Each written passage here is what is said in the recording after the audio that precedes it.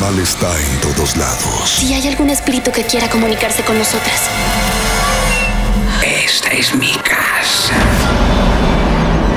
¡Nadie! ¿De qué estás hablando? Puede adentrarse en cualquiera. La voz en la grabación viene de una niña de 11 años.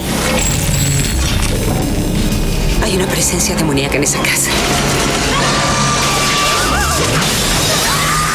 Solo ellos pueden ayudar. Cariño, ¿estás bien? ¿Qué ves?